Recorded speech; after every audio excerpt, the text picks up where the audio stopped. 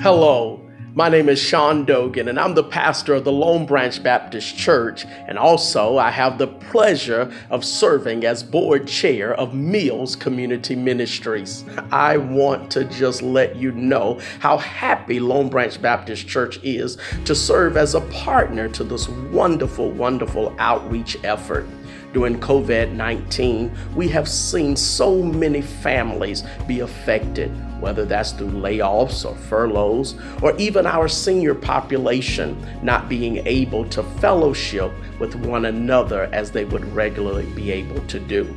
The Food Share program means so much to us because we're able to minister and even give a helping hand to our most vulnerable population, which are our seniors and children.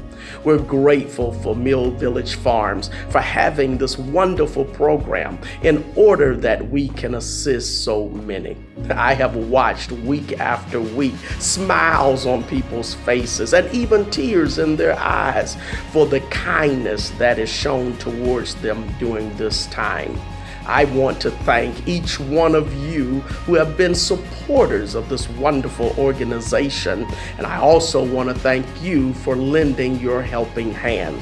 To all of the contributors, those who have supported in so many ways, whether it's volunteers or whether it is you supporting financially, thank you so very much.